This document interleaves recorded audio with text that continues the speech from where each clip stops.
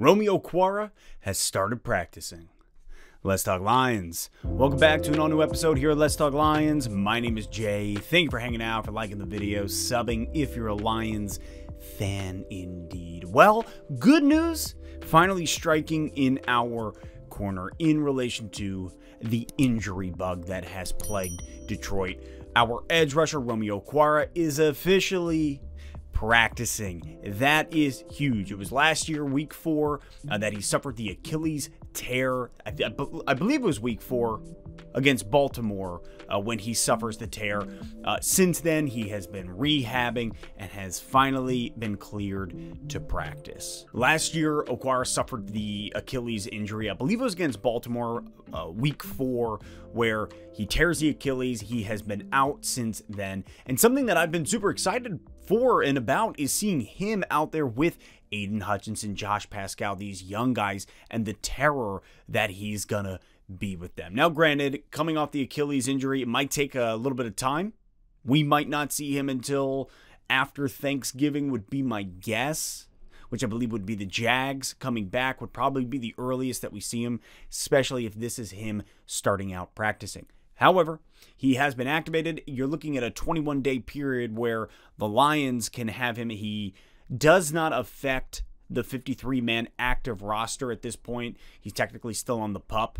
And in this time, he's able to practice. Lions are able to evaluate him. And if he's good to go, they can then move him up to the active roster and we see him out there. When he is back on the field, we know how good he is. That's why we paid him. That is what has been so exciting, man. Last year, him going down early killed us, killed our D line. And so now having him back, in addition with where Hutch is at now and how much he has progressed, man, that is going to liven up our line. That is going to be a huge boost for the Lions, for our defense as a whole. Getting Romeo Okwara back. And it's funny because I'm literally driving home from work today and I'm thinking, I'm like, oh my God, when are we going to see Romeo Okwara back out there? When do we get Okwara back? And then getting home, seeing the news, and I'm like, okay, well, maybe I should just wonder about these things more, and maybe the Lord will bless us here in Detroit. But that is the news. It is good news. This is something to look forward to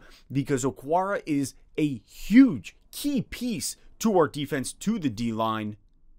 And so to be able to get him back now in a position where, as crazy as it sounds, we're on the bubble, but really seeing him in addition with Hutch, with Paschal, Alim McNeil, these young guys that we have picked up, uh, or year two, seeing them all actually coming together. I, it kind of reminds me of last year how, and even in the beginning of this year, never getting to see our O line together. This O line that we're like, man, this is a top five O line.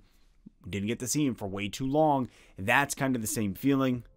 Now knowing that we'll have Okwara back saying, okay, this is the defensive line that we are really building out. And Okwara is a huge piece to that puzzle. So that being said, that is the good news on this snowy day in Michigan. Thank you for liking the video. Thank you for subbing to the channel. And as always, I'll catch you next time on Let's Talk Lions.